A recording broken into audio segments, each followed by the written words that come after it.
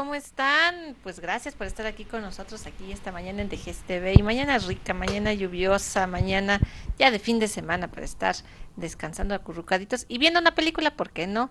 Hay muchas películas eh, para ver eh, tanto en cine como en casa, así que pues bueno, Qué bueno que siguen aquí en TV, porque TV te va aprendiendo. Pues bueno, ya vamos a hablar, ya hablamos de la Universidad del Caribe, de que si nos vamos a ir a Cancún. Ya hablamos de la reunión de exalumnos de la técnica 20 y para este fin de semana también, no nada más ver una película, también vamos a hacer ejercicio, porque sí es necesario y porque no sé si a ustedes les pasa que el cuerpo les pide eh, hacer ejercicio. Por lo menos eh, me incluyo yo, habemos personas que cuando comemos mucho, sí, soy, soy medio dragona, lo, lo admito. El, mismo cuerpo me va exigiendo bajarle a la comida y de verdad hacer deporte. Hacer deporte, estar activa, como que sí hay que gastar toda esa energía y qué mejor eh, que nada que, pues bueno, corriendo, caminando o, o haciendo que hacer, pero saben que con la conciencia de que están haciendo ejercicio. Por ejemplo, si ustedes, este, no sé, que su mamá les diga, eh, y que vivan en un departamento, que les diga a su mamá, ay, ve a tirar la basura. Sí, baja las escaleras desde el quinto piso, desde donde estés, y súbelas. No se vayan en el elevador porque no es ejercicio. Todo eso lo vamos a platicar ahorita en este programa porque estamos con la técnica 98 que nos va a hablar de deportes. Y déjenme presentar primero a las niñas. Primero a las niñas que están bien sonrientes aquí, que ya están ansiosas por, por hablar. Ok, empiezo con eh, Diana Patricia Menavalle. ¿Cómo estás? Diana, bienvenida. Sí, gracias. Muy sonriente. Algo. ¿Tú qué deporte practicas en la escuela? Ah, pues todos. Los que, las actividades que nos ponga el maestro y así todos. Pero también fuera de la escuela podemos practicar. Ok, y con Estamos también con Aline Paulina Fernández Rodríguez. Aline, ¿cómo estás? Bienvenida. Bien, gracias, gracias. ¿Tú qué deporte practicas? Pues igual todos los que nos ponen, por ejemplo, el maestro nos pone a correr a veces, básquetbol, fútbol, nos pone a hacer de todo y hacemos de todo. ¿Y a poco sí son buenas en todos los deportes? Pues algo. bueno, eso lo vamos a platicar ahorita. Y eh, de este lado con los niños, con los caballeros. Estoy con Jorge Antonio Morales Figueroa. Bienvenido, Jorge Antonio, ¿cómo estás? gracias, bien. Sí, muy bien. ¿Tú qué deporte practicas? Pues me gustan casi todos, pero fuera del plantel practico taekwondo. Entonces, wow. Me gusta. ¿Ya sabes patear? Sí. ¿Ya sabes pegar? pues ¿Qué cinta eres? Pues, ah, pues todavía no me acuerdo. pero sí te gusta. Me encanta. Me, me encanta hacer deporte. Y también saludamos al profesor Emanuel Olalde Rivera. Profesor, ¿cómo está? Bienvenido. ¿Qué tal? Buenos días, gracias por la invitación. Pues aquí presentándonos para hablar sobre todo de educación física, deporte y juego y la actividad física, la importancia que tiene para nuestra vida diaria. Sí, porque sabe que lo, lo que estábamos comentando antes de entrar, que muchas veces eh, decimos, hay educación física. Ah, pues que los cuide el maestro, que les dé una pelota y que se pongan ahí a jugar. Exacto. Y no es nada más aviéntales una pelota, es cuidarlos de lesiones, cuidar de que hagan calentamiento, cuidar de muchas cosas. ¿Qué es la educación física, maestro? Bien, eh, es, es importante aquí aclararlo porque muchas veces o la mayoría del, tiempo se confunde educación física con lo que es deporte y con lo que es juego. Ahorita mencionamos a lo mejor la clase de, de deporte o la clase de juego. Todo eso es muy diferente, pero todo va relacionado. Educación física es una disciplina pedagógica que se basa en el movimiento corporal, eh, todo nuestro cuerpo, cómo lo, cómo, cómo lo movemos y desarrolla capacidades físicas, tanto coordinativas como condicionales. Condicionales como lo que es la fuerza, la velocidad, la resistencia y la flexibilidad. Son cuatro capacidades físicas condicionales que tiene el ser humano. Las coordinativas como el ritmo, la orientación, la sincronización, la diferenciación, la adaptación. Y todo eso lo vamos trabajando dentro de la materia. Ahora, los niños al principio del curso deben de tener bien en claro que, educación física, deporte y juego son cosas totalmente distintas. Por ejemplo, ellos saben que juego no se refiere completamente a educación física. Juego es una actividad que únicamente es para el disfrute de los participantes. El juego, en el juego tenemos, podemos cambiar nuestras reglas. En educación física también podemos cambiar nuestras reglas, pero por ejemplo en deporte no. En deporte, supongamos en fútbol, eh, no podemos tocar el balón con la mano porque sería una falta. En básquetbol no podemos patear el balón. Entonces, eh, deporte tiene reglas completamente establecidas eh, y en educación física pues podemos cambiar las reglas. Este, no hay sobre todo competencia, sino que todos aprendamos en conjunto. En deporte no es meramente competencia y en juego es únicamente para diversión y las reglas se pueden cambiar. Entonces, son conceptos eh, muy distintos, pero que siempre se han manejado de la misma forma porque no tenemos ese conocimiento sobre ellos. De, todos, de, todos, de todas maneras, los tres conceptos van relacionados porque en educación física tenemos deporte y en educación física también tenemos juego. Claro, claro. A ver, chicos, en educación física también lo dice su, la palabra educación física.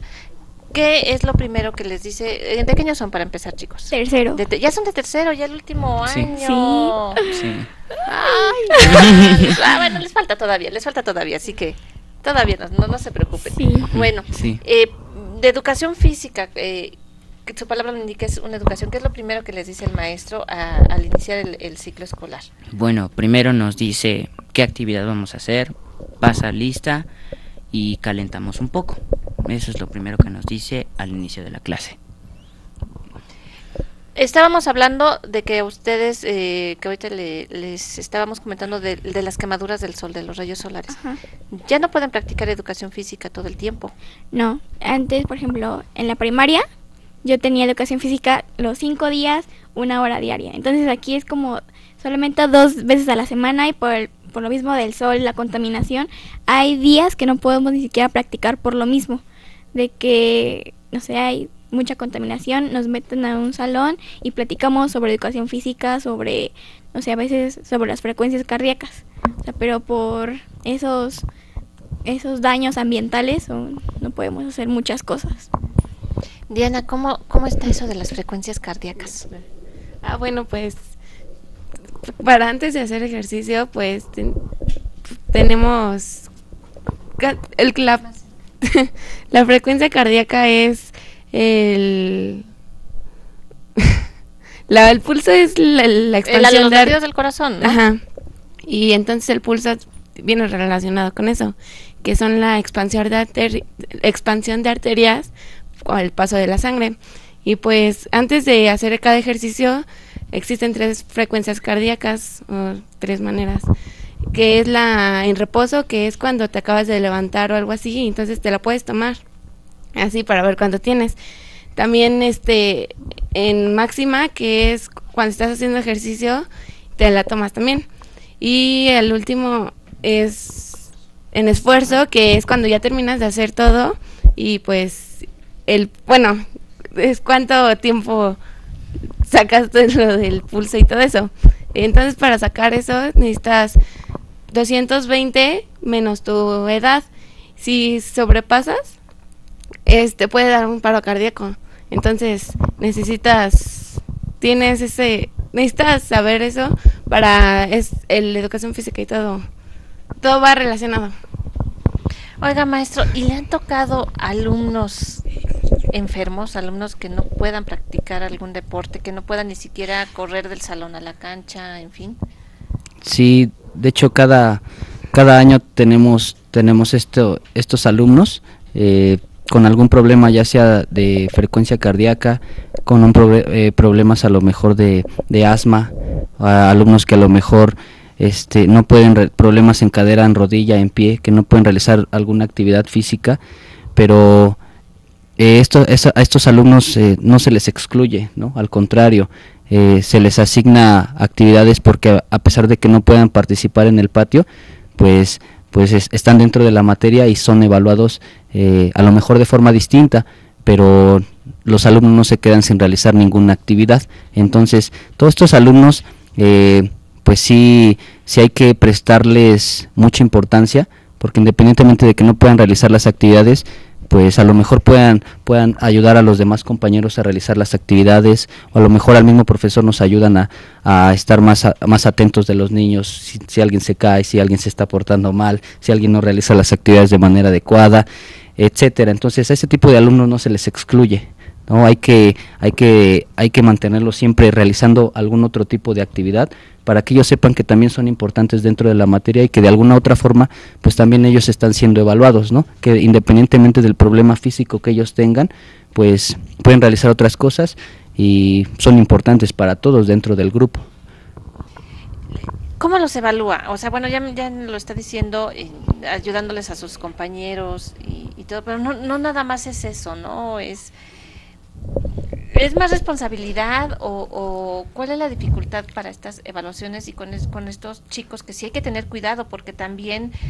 eh, como nos decía esta Diana, como nos decía Diana, dice, es que eh, si, si el ritmo cardíaco aumenta eh, puede ser fatal. Exacto. Sí, por ejemplo, en un caso de, de problema de asma, pues en primera nosotros como maestros debemos de tener el conocimiento a través de certificados médicos sobre los problemas físicos que ellos presentan. Si el niño tiene asma, pues debo de, yo como profesor debo de saber qué tipo de actividades debo de colocarle al, al chico, ¿no? Ahora bien, eh, supongamos que no se supiera y realizamos alguna prueba que ex- exige mucha resistencia, pues como lo mencionó Diana, puede su frecuencia cardíaca puede elevarse tanto que puede presentarse un problema, no sé, de un paro cardíaco, un paro respiratorio. Entonces, si es mucha responsabilidad, el maestro tiene mucha responsabilidad porque no tenemos un alumno. A veces tenemos 45, 40, 50 alumnos, 50 alumnos que tienen problemas totalmente diferentes y son 50 son 50 chicos que que pues cada quien tiene sus ondas y, y una únicamente es uno uno en este caso yo el que tiene que estar al pendiente no entonces pues sí es muy complicado a veces estar trabajando con tantos chicos pero pues ni modo no ese es nuestro trabajo y uno trata de hacerlo de mejor manera A ver, Jorge, bueno, ¿cómo te gusta que te digan Jorge o Antonio? Este, Jorge. Jorge, ok, Jorge, tú estás en Taekwondo y al principio mencionaba el maestro que también se tiene eh, que hacer ejercicios de coordinación. Son muy difíciles Bueno, en realidad no. Bueno, porque también de ahí viene cuando decimos, es que yo tengo dos pies izquierdos, por eso no sé bailar. Ah. Pero eso es un ejercicio de coordinación. Para empezar, eh, hay quien, gracias, hay quien debe de saber eh, cuál es el, cuál es la derecha y cuál es la izquierda, ¿no? Eso es coordinar. sí. Cuéntame de esos ejercicios en taekwondo. Bueno, pues en la coordinación nosotros lo que hacemos es practicar toda esa base de práctica, como dicen muchos, es practicar las patadas, los puños, los golpes, a donde dirigir también, como en la coordinación dice, la puntería, a dónde tiene que ir dirigida la patada, el golpe, o en otros casos, pues saber cómo moverse, como dicen que hay que ser equilibrados. Y entonces es así como si tú llevas práctica en algún deporte y tienes y quieres mejorar, es lo que digo, la práctica. Eh, como dicen, la práctica hace al maestro. Desde, desde cómo poner, es, es coordinación una vez... Eh... Ay, ¿te puedo balconear, Susi? es que aquí estoy platicando con Susi Argueta, nuestra jefa, nuestra encargada de producción. Nos puso un ejercicio desde, que yo ni me acuerdo cómo iba, me voy a balconear mejor yo solita, ¿verdad? desde el puño abierto, un lado el puño, no, el puño, el puño hacia abajo y luego el puño, el otro, el puño. A ver, a ver, détenme tantito el micro. Ah, ¿sí, te, sí te sabes, sí te sabes este? ¿Qué es? ¿Cómo, ¿Cómo iba? Así y luego así. Ay, no, así. Ok, así como no cantó, no se coordina. Maestro, ¿qué se tiene que hacer para estos ejercicios? Ya me balconé. Eh, bueno, en este, en este ejercicio sobre todo como dice como dice Jorge, pues es, es la práctica, meramente la práctica, porque muchas veces a lo mejor lo vemos y los vemos como ejercicios muy fáciles, pero que en realidad a la hora de hacerlos, pues nos cuesta mucho trabajo, ¿no? Entonces todo esto es, es únicamente la repetición, ir repitiendo un, un ejercicio es como estar moviendo hacia un lado en, de forma circular un brazo y al mismo tiempo el brazo contrario hacia, los, hacia el otro lado contrario, por ejemplo este movimiento. ¿sí? Hacia un lado uno y hacia el otro lado el otro. A el a izquierdo, ver, a ver, a ver, a el ver. izquierdo hacia atrás y el, y el derecho hacia adelante. A ver si lo podemos hacer. Es fácil a lo mejor. No, no, porque en este caso los dos van hacia atrás. Uno va hacia adelante y el otro va hacia atrás. ¿Sí? A ver, a ver. Uno va hacia atrás y el otro va hacia adelante. Ahí voy, ahí voy. Uno va hacia atrás, el izquierdo y el otro va hacia adelante. Eso es coordinación. Eso es coordinación. De uno por uno. Sí, exacto. Entonces es, es el manejo, ¿no? Desde la mente, le, mandas a tu, a, tu, a tu brazo izquierdo un movimiento hacia atrás y al mismo tiempo a tu brazo derecho un movimiento hacia adelante, pero muchas veces nos confundimos porque estamos pensando hacer el movimiento hacia atrás y automáticamente el brazo contrario lo hacemos hacia atrás, pero esto es muy fácil, la bronca es hacerlo hacia adelante. O sea, es solamente práctica. Oiga, pero también hay una cosa entonces aquí que va algo a influir.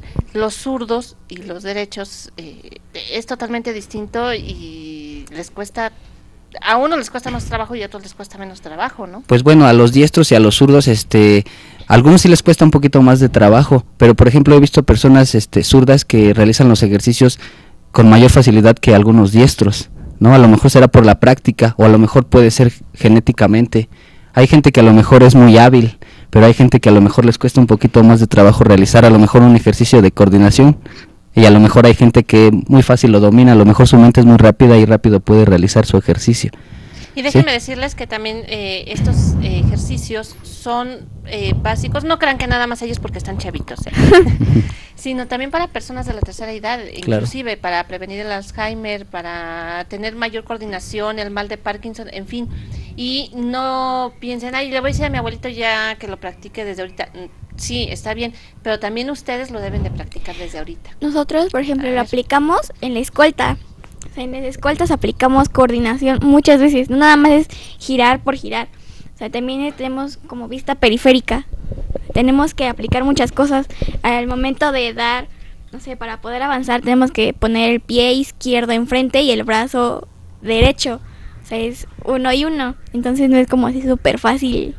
Aplicamos eh, equilibrio también, resistencia en las escoltas.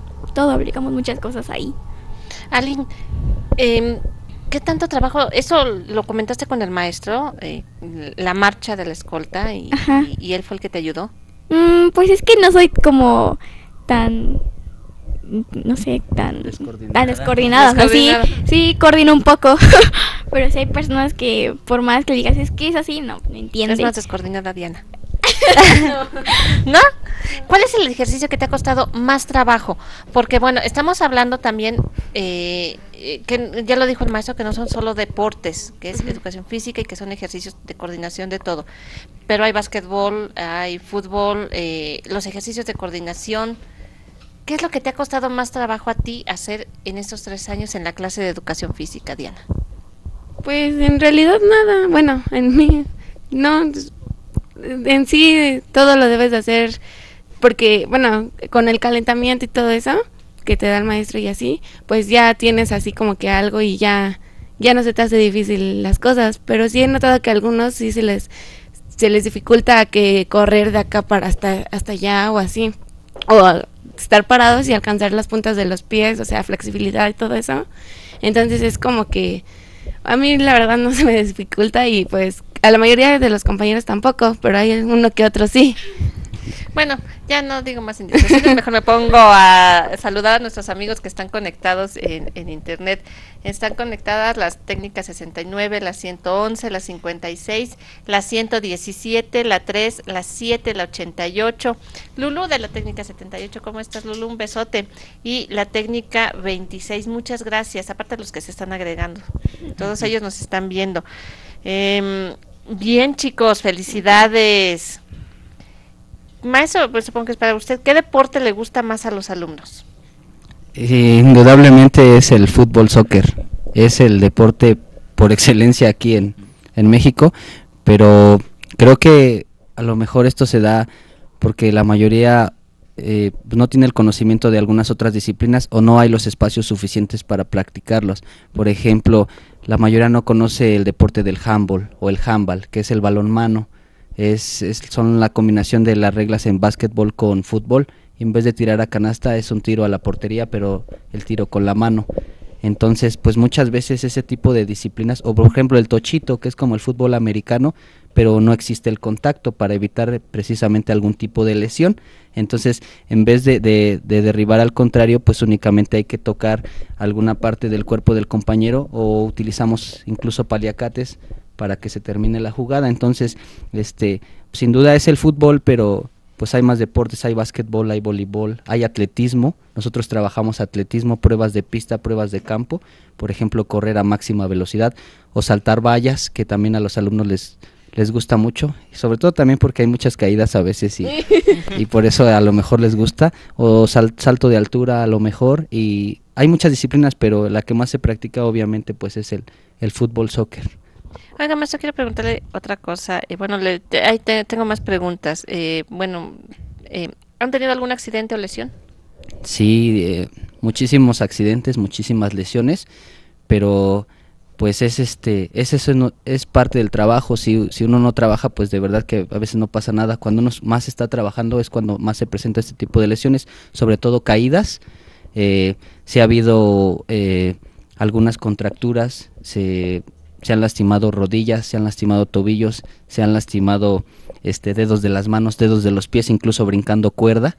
Este se, han- se ha, llegado a, sí a haber fracturas a veces eh, y ha llegado también pues a veces tiene que llegar incluso la ambulancia cuando es algún accidente muy grave alguna fuerte caída pero pues es por estar trabajando por estar realizando alguna actividad y ese es el riesgo que corremos nosotros los maestros de educación física no que es la diferencia nosotros no estamos en salón nosotros estamos en, en patio y realizamos actividades que implican el el desarrollo implican eh, eh, estar corriendo, estar brincando y pues hay mucho riesgo, ¿no? Y también pues para nosotros es a veces complicado porque pues a veces uno se espanta mucho, ¿no? Pero debemos de saber reaccionar de manera adecuada, cómo atender al alumno, si hay que darle algún primer auxilio, este y pues sí, en lo personal sí, sí he tenido varios accidentes, ya llevo siete años trabajando, pero pues afortunadamente eh, han sido Lesiones menores. Lesiones menores, sí, pero pues bueno, es parte del trabajo, es parte de mi trabajo como educador físico. También nos dicen, todos tenemos que hacer ejercicio. Sí, es lo que decía, todos tenemos que hacer ejercicio. Y lo que le quería preguntar, eh, también, bueno, ya hablamos de, lo, de los chicos que están enfermos, que tienen que hacer otras actividades, de los que sufren, por ejemplo, asma, o no sé, porque ya también a esta edad, déjenme decirles que ya muchos ya sufren del corazón también y dicen, ay, soy cardíaco, y pues bueno, hay que hacer otras actividades y tener cuidado con, con sus compañeros. Pero también, ¿qué pasa con los que utilizan lentes? Porque dicen es que me, lo, los tengo que quitar para que no se quiebren, para que no se caigan. Y me los quito y ya no veo. Y también es problema eso. Sí, e- e- es, es una herramienta para ellos, indispensable.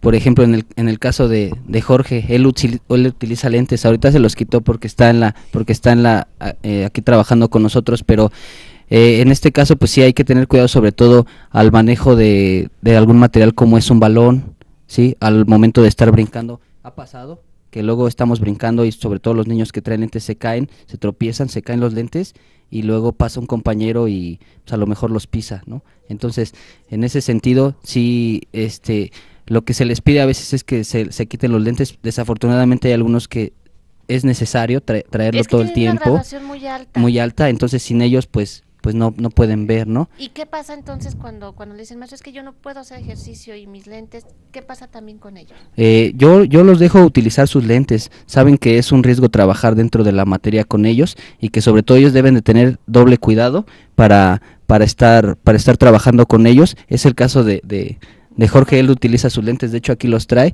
pero él trabaja, él trabaja a diario con sus lentes, él sabe que es un riesgo. Jorge, ¿y en taekwondo también te los quitas? Sí, bueno, en cualquier deporte me los quito porque pues no, sí puedo ver más o menos así de lejos y de cerca, así sin los lentes, pero pues sí hay riesgos porque aparte de que se me han roto muchos lentes jugando, también a veces no me pongo inquieto y pues juego con ellos y sí ha pasado de que me a veces nos golpeamos, se me han caído y los han pisado y luego como a veces los los pisan a propósito, luego los juegan ahí como su pelotita, pero sí me los quito y sí, sí. No, es que sí hay niños eh, que, que alumnos maldosos, miren, y aquí están estas dos que se están riendo, déjenme las acuso. Es bullying. Este, a ver Diana, a ver Aline, de qué de... No, es que, es que sí hay niños que, que, que dicen, ay sí, los lentes, ay sí, de Jorge y... y Mm, todo". sí. Oye, pero hay lentes deportivos, Sí, sí los he visto, pero también lo que ¿son importa incómodos? No, Porque no. que tienen el resorte. Sí, el resorte son como los que ocupan en Como máquinas, gogles, ajá, ajá, gogles. ajá. Pero también lo que depende es el precio, porque bueno, ahorita como dicen, hay otros de moda y luego eso de que la molestia y eso. bueno, pues eh, hay diferentes tipos de opiniones, pero eso es lo que también hay problema, la economía o pues simplemente no les gustan. Claro, claro que sí. Mira, tienes bonitos ojos. Ah, muchas gracias. Bueno, chicos, se me está acabando el tiempo y yo tengo un montón de cosas que preguntarles, algo más que nos quieran decir, que quieran agregar. Pues yo quiero agregar en opinión que el- es fundamental el deporte aquí en- para todo el mundo, que tienen que practicarlo, ayuda mucho a, la, a nuestro desempeño físico, mental y a socializar en especial con los demás compañeros en nuestra materia en la escuela. Eso como es el fútbol, el básquetbol, nos permite a socializar, como les digo, y aprender a seguir reglas. Claro, claro. Pues, nosotros queremos agregar sobre las escoltas. claro. Es, nosotros participamos en cuatro eventos en todo el ciclo escolar. Los, los dos primeros es el cambio de escolta de segundo a tercero y de y el 19 de septiembre ya casi va a ser. Hacemos una ceremonia eh, por lo del terremoto y eh, desdoblamos y doblamos bandera y la colgamos a media asta por lo mismo que estamos de luto, pues está a media asta la bandera. Y los otros, otro, los otros eventos son otros dos, que uno es el concurso de escoltas, que van muchas escuelas y pues sí es un buen trabajo. Y el último es el cambio de escolta ya para entregar la bandera al siguiente ciclo, por así decirlo. Mm, Ay, qué triste. Ya entregan ustedes la escolta. Esto eh, del- de las escoltas, ¿ustedes lo consideran como deporte? Pues sí, practicas mucho valores, resistencia, flexibilidad, este eh, fuerza, equilibrio, este orden y control. Fuerza, todo. ¿por qué? Porque da- no, es que de- eh, muchos pensamos, ay, nada más van marchando. Pues cárgala. sí, en las piernas luego que hay un paso que es paso de parada, entonces los pies van todo el tiempo así rectos, entonces desplantes así rectos, entonces sí, es un poco cansado, pero está muy bien. Es como dijéramos hacer ejercicio, eh, hacer este, perdón, sí, está haciendo ejercicio, sí, este, hacer bicicleta, hacer, ¿cómo, cómo- con qué comparas ese paso De parada. de parada? Sí, pues sí, más o menos, como caminar o algo. Eh, también los, por ejemplo, los pasos de parada son puros desplantes, es desplante, desplante, desplante. Es tener mucho, es mu- tener muchísimo control sobre tus piernas y todo tu cuerpo. Ay, chicos, Sí. entonces todo lo que nos tienen que enseñar. Pues bueno, chicos, yo les agradezco eh, muchísimo y de verdad, ¿cómo pueden empezar? ¿Cómo les recomiendas, Jorge, para que empiecen? Eh, ah, porque hay alumnos que nada más dicen, ay, nada más tengo que ir a la escuela y en la escuela ya hago lo de educación física y ya. Pero para que empiecen a tener un gusto por el deporte, Pues para que empiecen a, de- a hacer ese hábito, porque te lo habrán dicho en taekwondo, Sí. tiene que ser un hábito. un hábito porque así nos ayuda mucho a la salud y aparte también tiene que bueno en otros temas la alimentación pero yo les digo que se diviertan y que pues socialicen con las demás personas y pues empiecen a dar así con como digo práctica y práctica para poder llegar a ser mejor en el deporte y llegue a gustarles Y pues, ay, ay, ay. Este, y pues el, el deporte y la- todo físico te ayuda también a alejarte de varios distractores como son las drogas, adicciones, este, por si te cortó tu novio te pones a hacer ejercicio, no sé, cosas así. Este, y te desquitas con, con taekwondo, con, con box, con, ¿cómo se llama? Este, Sí. Kickboxing, en fin. Sí, yo O me también- desquito cuando estoy enojado y frustrado a darle duro así, duro contra el peto, contra el otro compañero. Así que ya saben todas las ventajas que tiene el deporte. Pues bueno, yo me despido. Gracias por haber estado aquí, chicos. Gracias chicas. Por Muchas gracias, maestro. gracias por invitarnos. Y pues bueno, que ojalá les haya servido todo esto que, que les que les acabamos de platicar. Les mando un abrazo. Por hoy vamos, por hoy cerramos transmisiones en tele, pero no se despeguen porque todavía estamos en radio. Y pues bueno, nos vemos y nos escuchamos la próxima semana. Hasta luego.